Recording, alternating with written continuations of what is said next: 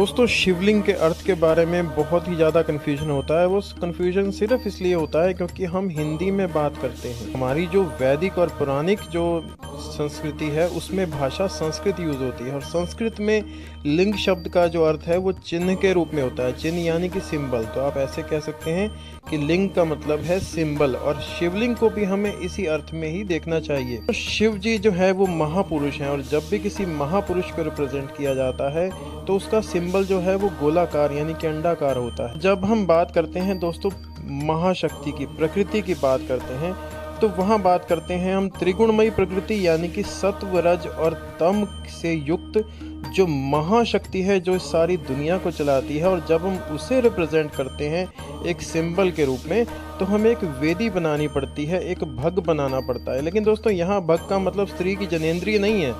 यहाँ भग का अर्थ भगवान शब्द के उस भग से है, मिलता है।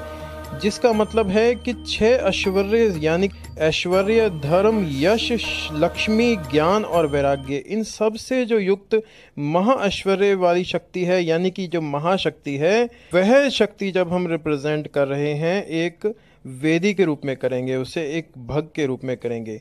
और दोस्तों, जब इस महाशक्ति का, महापुरुष, यानी शिव जी के साथ मिलन होगा तो एक जो कंबाइंड सिंबल बनेगा दोस्तों, उसे ही कहते हैं शिवलिंग।